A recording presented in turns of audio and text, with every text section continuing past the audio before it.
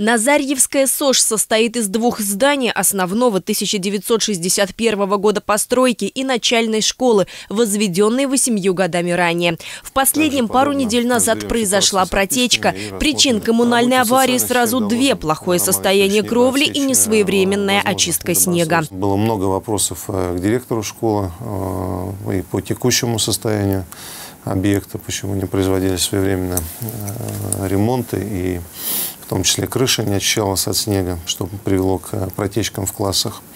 Много вопросов э, было и по коммуникациям с родительским сообществом, и по учебному процессу. На данный момент директор Назарьевской школы написала заявление на увольнение по собственному желанию. Строительство здания образовательного учреждения было в перспективных планах развития муниципалитета, которые пришлось скорректировать. Новый объект в системе образования должен появиться уже через 2-3 года. Сейчас идут переговоры по оформлению участка. Переговорный процесс, касающийся земельного вопроса, запущен и в Перхушково. Здание местной школы было построено в начале прошлого века, в 1910 году. Последний раз его капитально ремонтировали в 2013 -м. Чтобы образовательное учреждение нормально функционировало, регулярно приходится выделять значительные финансовые средства. И этот год не будет исключением. И в том и в другом объекте будет проведен как экстренный ремонт, э, так и текущий э, ремонт в рамках э, летней а, программу, потому что пока мы строим школы, объекты должны функционировать. Еще один вопрос. повестки еженедельного совещания главы Одинцовского района – организация питания в образовательных учреждениях муниципалитета.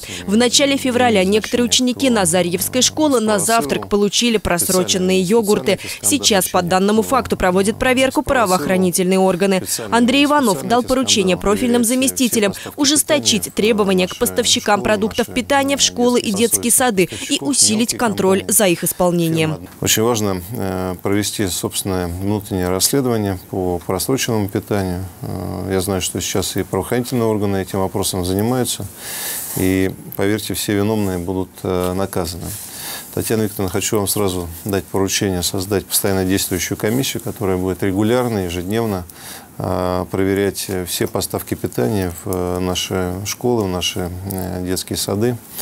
И если будут э, случаи поставки несвежего, уж тем более просроченного питания, незамедлительно э, давать эту информацию мне, будем принимать оперативные экстренные меры. Недобросовестных поставщиков в нашем районе однозначно не будет. Вопрос, связанный с организацией питания детей в школах и детских садах, глава Одинцовского района Андрей Иванов взял на личный контроль. Евгения Августина, Евгений Муравлев, Денис Харламов, телекомпания «Одинцова».